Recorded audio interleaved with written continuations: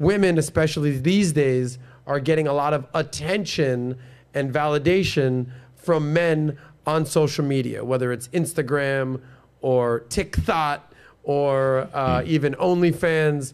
Um, and some of these girls, as you'll, I'm sure, admit, Richard, they look good, brother. They look real good. Okay, they got, you know, not the not the traditional sense of good, Good heart. as as as Dave Chappelle likes to say. I'm talking good, like they're wearing a turtleneck and the titties are popping out, like they're, they're good. The dress is half up.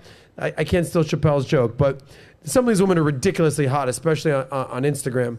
What are the the, the the this is a major red flag, but uh, what's your advice on men pursuing women with a million followers on Instagram or that are doing the booty pics on TikTok? What's your advice for men in, in regarding these types of uh, clout chasers and Instagram tottery out there? Well, they're simps. I mean, there's there's no way around it. If if there's an unfair exchange, because attention is the coin of the realm for women, she's getting free, unlimited attention from all these guys. Then what does he get in return? Now, this is where guys start to sign up for things like OnlyFans, or they subscribe to some Amazon wish list or some some garbage like that. But they're simps. I mean, I don't follow any thoughts on any social media platforms.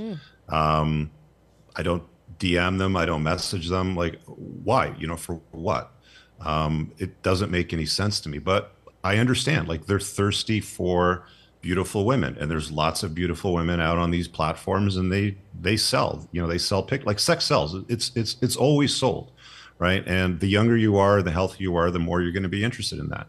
You're never going to get away from that. I mean, I wouldn't touch a woman that had a prolific social media account with a 10 foot pole. I mean, look, maybe if she's a social media uh, fitness influencer and that's what she's always done her entire life and she's a total complement to my life and has none of the red flags sort of thing, then I might let her, maybe.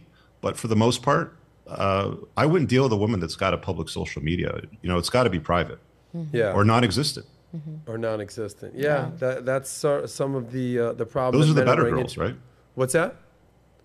Those are always the better girls. The girls with either private or non-existent social media. Profiles. You know, Richard, I, I, I, i'm learning that the hard way, my friend. Let's just leave it there. Some We'll of these girls there, out Adam. there, they'll get you. He'll get you Uh, there. but you Uncle know, Rich will th- get you there's there, right? reciprocity, though. It's not like I, um, not getting a message back, so to speak. So if you like that clip, click right here to watch another, or if you want to watch the entire Soscast, click right here.